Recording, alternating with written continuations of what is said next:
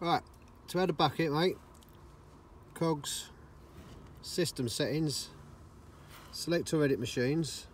You select the machine you want, obviously, make sure you're on the right one. Um, edit machine parameters. And then you go to the buckets tab.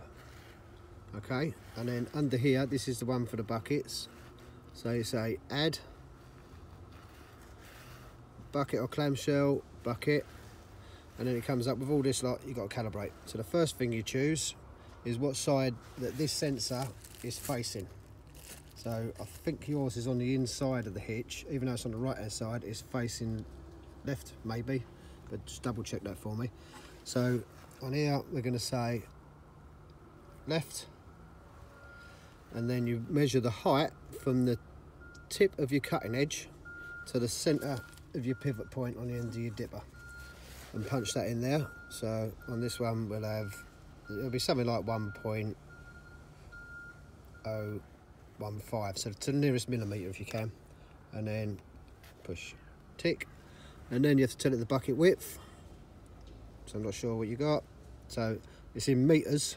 A few people have done this incorrectly. They put 600 and they've had 600 metres. So if it's a 600, you do 0.6, tick.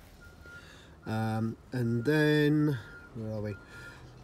Bucket sensor. So now you have to tell it at the zero point. So what you do is you put your string line from there, hang it down, and you curl it under so the tip is ju just touching the string line, vertical.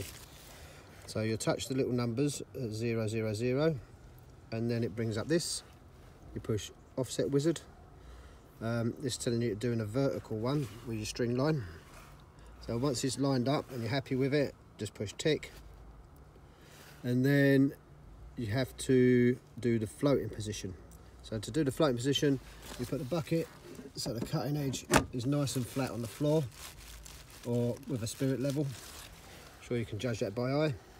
And then all you do is do floating offset wizard again and then tick. And then that's called that new bucket. So you just push the rename and you call that whatever you like say 600 digging. But you've got them with and without tilty so you'll have to name with and without the tilty whatever we done it last time and then tick. And that's it. Just confirm it.